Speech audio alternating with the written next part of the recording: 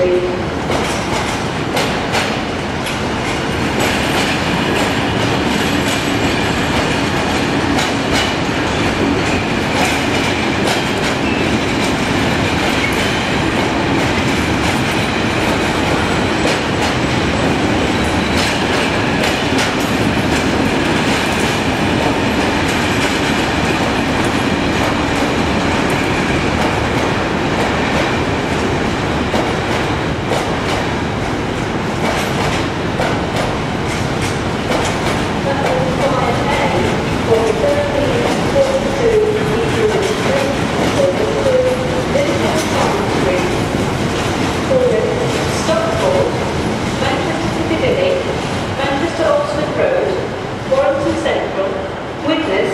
Liverpool South Parkway and Liverpool Lime Street.